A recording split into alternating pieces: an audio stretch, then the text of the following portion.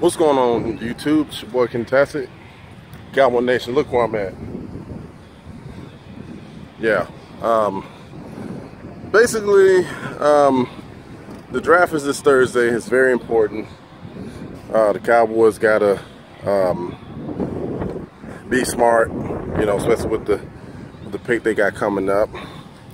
And um, I know they and I know they will uh, be smart with the with their picks. So um, I think it's gonna be defense first, and then so you know they might get them a, a wide receiver.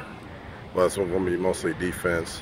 Need some edge rushers, maybe a linebacker, and definitely maybe a, a safety. So let's see what happens. Um, real quick video, and uh, I ain't gonna take up too much time. It's your boy Kentastic. Go Cowboys. See you Thursday here at AT&T Stadium.